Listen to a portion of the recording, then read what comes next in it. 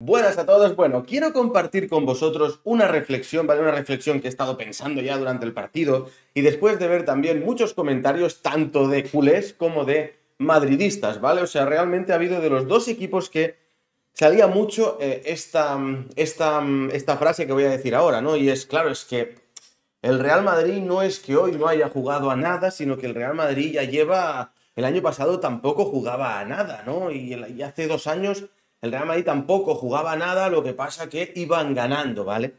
No es cierto. Lo he dicho en el último vídeo, ¿vale? No es verdad. O sea, no es verdad. Yo, entiendo, ¿vale? Que los, que los culés, algunos culés lo digan, no sé muy bien por qué, ¿vale?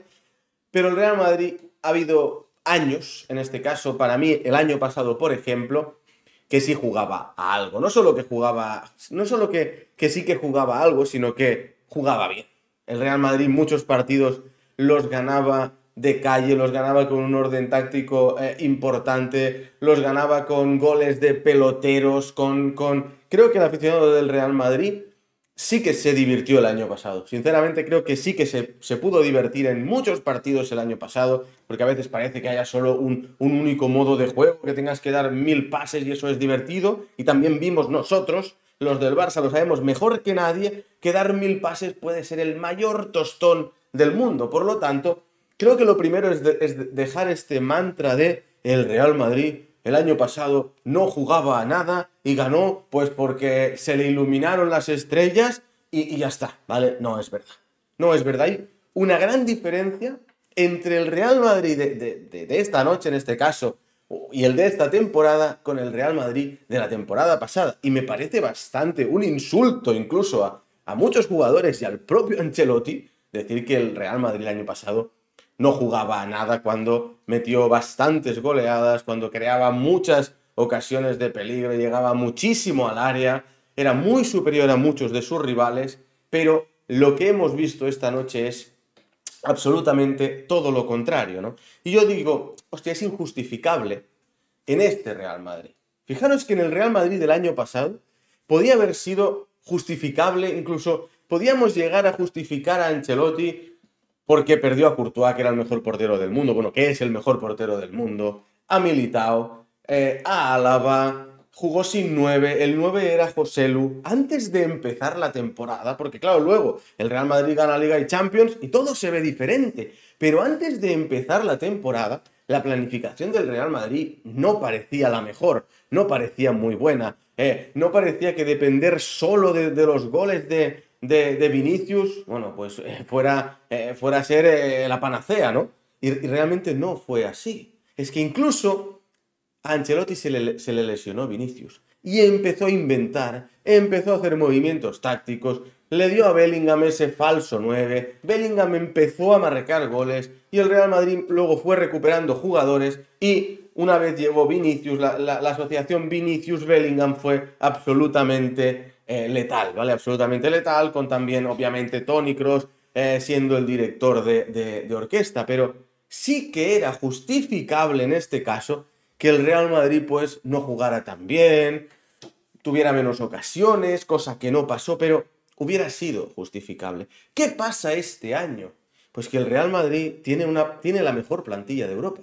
Tiene una plantilla prácticamente de ensueño. Hoy mirabas el banquillo del Real Madrid y decías, Joder, es que tiene a Mbappé en el banquillo hoy, a Rodrigo que no ha salido, em, a Arda Guller, a Modric, eh, a, ¿quién, ha sido el que ha salido este chico? El lateral izquierdo que lo está haciendo muy bien. Eh, bueno, da igual, el, no me acuerdo. El lateral izquierdo este español, ¿vale? Tú mirabas el banquillo del Real Madrid y Ancelotti tenía, mm, vamos, jugadores muy buenos, con muchos mimbres para intentar cambiar en este caso el partido. Por lo tanto, no es solo que tenga un once inicial con Mbappé, con Vinicius, con Rodrigo, con Bellingham, con Rudiger, con Carvajal, em, con un centro del campo amplísimo, ¿vale? Amplísimo, con, con, con, reservas en este caso del nivel de Arda Guller y Hendrik. Tiene la mejor plantilla de Europa. Y en este caso, cuando tú a Ancelotti le has dado la mejor plantilla de Europa, lo mínimo que le puedes pedir al Real Madrid ya no es solo ganar, ¿vale? No es solo ganar, porque lo normal es que gane con estos jugadores, pero si, encima no ganas, tela, ¿no?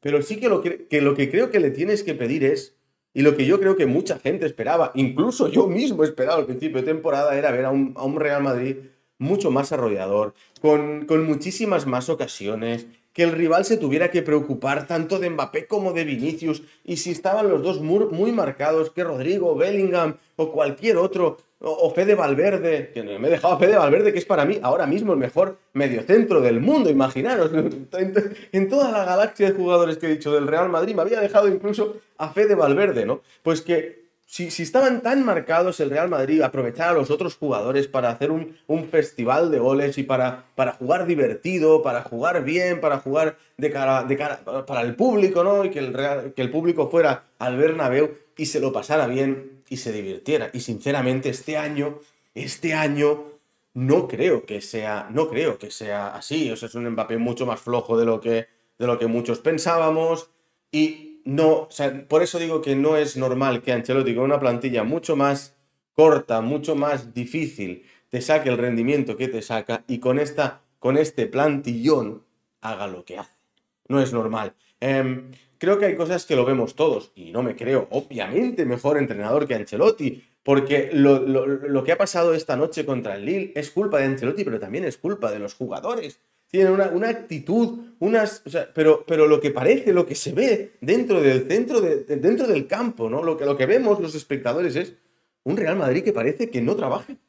Parece un Real Madrid como si fuera una selección que, oye, han llegado todos los jugadores de diversos equipos y los, los han puesto a jugar.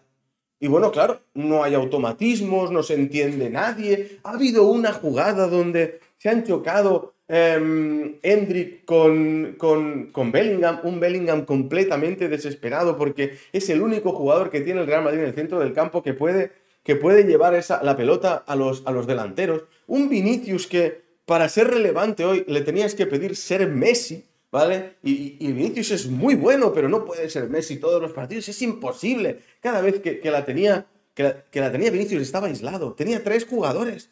Para, para Vinicius hoy ser relevante, tenía que regatearse a tres jugadores, hacer una jugada, pues eso, mesiánica y marcar el gol. No, no hay un, entendimiento. Y no es solo por este partido que es ya como el, o sea, el, máximo ¿no? de lo que hemos visto esto, sino que es en general, líneas súper eh, partidas, cinco, cinco atrás y cinco adelante. Y el Real Madrid, la única manera que tiene para hacer llegar el balón a los delanteros es con pases largos de los defensas con pases largos de los defensas. Ha habido también una jugada donde Rudiger estaba buscando a un compañero al que pasársela adelante para que ese compañero fuera el que distribuyera. Eso el año pasado lo hacía Tony Cross. Y no, a mí personalmente no me vale que me digan, claro, es que no está Tony Cross, por lo tanto el Real Madrid pues tiene que pegar este cambio. No. Con esta plantilla, Ancelotti tiene no solo que ganar, sino que jugar eh, ser superior al 99% de los equipos y jugar, eh, pues como mínimo, bastante más ofensivo, bastante más divertido y que parezca, ¿no? Que el Real Madrid es ese equipo tan superior. Yo no sé qué es lo que pasa, o sea, yo veo muchos problemas en el Real Madrid de actitud, pero sobre todo veo a un Ancelotti que no está sabiendo encontrar al equipo, que no está sabiendo encontrar a ese, a ese pelotero que, que, pueda, que pueda resolver esto y que no está aprovechando a Bellingham como lo tiene que aprovechar, no está aprovechando a Arda Guller como los tiene que aprovechar, que son ahora mismo los dos jugadores que creo que pueden resolver, resolver más problemas del Real Madrid. Puede ser que en mayo, pues este vídeo, pues bueno, sea para reírse, ¿no? Madre mía, Eddie, menudo payaso. Puede ser. Pero a día de hoy, a día de hoy, hostia, es complicado ver una recuperación del Real Madrid. Y creo que eh, Ancelotti tiene gran parte de culpa porque no, no es justificable que con la plantilla que tiene el Real Madrid juegue de la manera que está jugando. No lo es. Nos vemos en el próximo vídeo. Chao, chao.